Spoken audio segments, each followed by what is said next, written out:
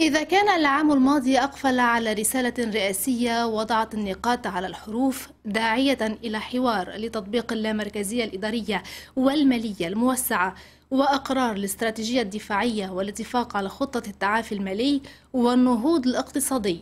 فالانطلاقة السياسية للعام الجديد تتوقف على موعد اللبنانيين ظهر الغد مع الكلمة المنتظرة لرئيس التيار الوطني الحر.